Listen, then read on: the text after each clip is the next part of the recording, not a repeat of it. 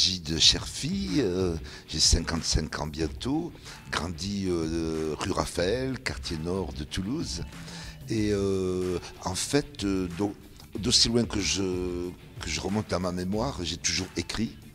J'ai écrit des poèmes pour les copains qui voulaient draguer des filles, j'ai écrit des poèmes pour des filles, j'ai écrit des scénarios pour les copains parce que j'étais animateur de quartier. J'ai écrit des petites pièces de théâtre parce que j'étais animateur. J'ai rempli des formulaires de subvention. J'ai écrit des lettres au bled pour les familles en kabyle, en arabe, en, euh, français. Euh, euh, et puis surtout, j'ai écrit des chansons pour le groupe Zebda. J'ai passé ma vie essentiellement à écrire des, textes, des chansons. Voilà. en fait, moi, j'avais envie à l'origine d'être plutôt un scénariste de film. Je voulais raconter une saga de l'immigration, euh, pas de réaliser, mais d'écrire des, d'écrire des films, parce que le, cinéma me, passionnait. Et euh, j'ai passé des concours dans des écoles de cinéma, j'ai raté tous mes concours. Et euh, quand je me suis retrouvé le bec dans l'eau, il y avait ses potes qui faisaient de la musique et qui m'ont dit Bon, bah, Gilles, puisque tu écris, t'as qu'à chanter. bon, j'ai trouvé ça agréable et donc, donc je suis devenu chanteur mais en réalité, le gros de mon travail dans Zebda, c'était l'écrit. Donc euh, euh, on, apparaît, on émerge comme un chanteur, mais le, plus de temps passé dans cette histoire de Zebda pour moi, ça a été d'écrire des, textes. Et donc tous les 2-3 ans, de remettre 25 à 30 textes. Et euh, voilà. Donc finalement, je suis plus de l'écrit que de la musique.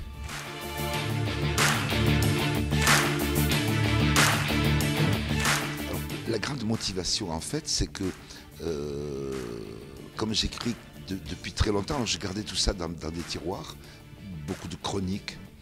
Euh, en fait, au fil du temps, je me suis rendu compte que nous, euh, issus de l'immigration maghrébine, donc musulmane, on était une immigration qui n'existait pas dans l'histoire de France.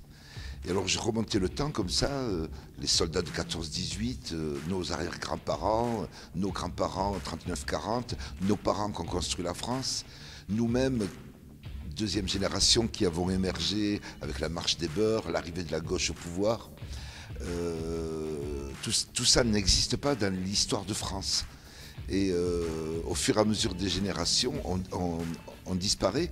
Et je me suis dit, bon, puisqu'on n'existe pas dans l'histoire de France, il faut qu'on écrive, nous issus de l'immigration, une espèce de, second livre d'histoire qui raconte notre, euh, notre histoire de, voilà, d'immigrés ou de fils d'immigrés, parce qu'elle ne sera jamais racontée.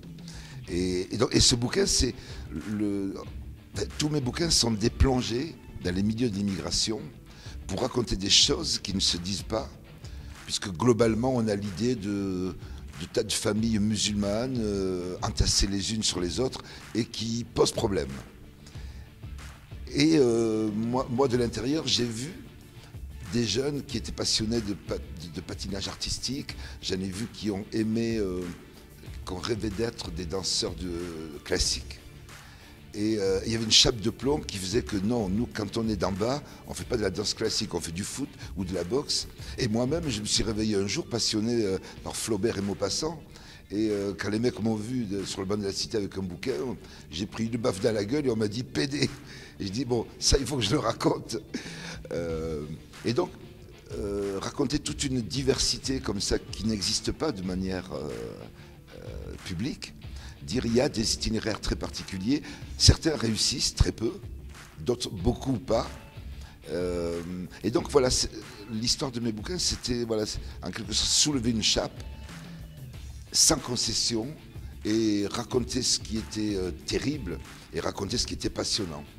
Et moi, quand je me suis retrouvé avec des filles en train de, de, tenter de mettre en scène Antigone d'Anouilh, euh, alors c'était passionnant, mais tout de suite les mecs sont arrivés, on nous a cassé le théâtre, les filles ont été euh, empêchées de sortir, euh, nous euh,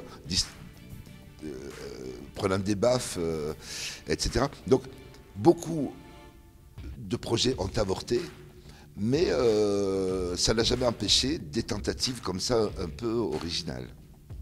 j'ai Twitter, j'ai Facebook, euh, j'ai euh, l'adresse mail qui va bien. D'ailleurs, depuis depuis une petite année, je me suis mis à fond, parce que du coup, j'ai des mômes qui ont, une vingtaine d'années et qui disent Mais papa, mais t'es naze, t'es pas dans les réseaux sociaux. tu veux que les gens lisent tes livres, lisent tes chroniques, écoutent tes chansons. et, donc, je m'y suis mis et, donc tout ça est en place.